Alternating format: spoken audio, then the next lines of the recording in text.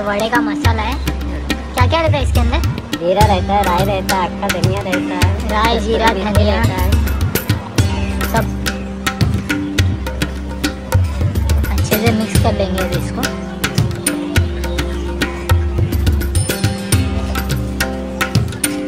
टिक्की बना देंगे आलू की बड़े के लिए।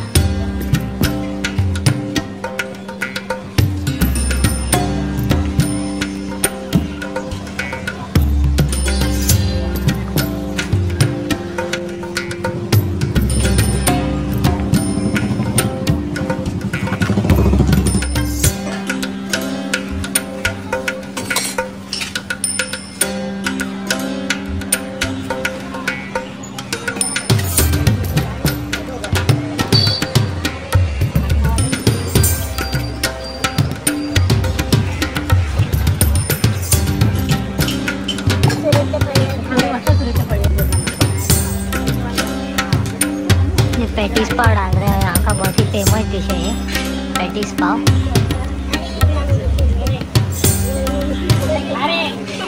पाव में फिलिंग लगा के, बेसन में इसको डिप करके फ्राई कर रहे हैं।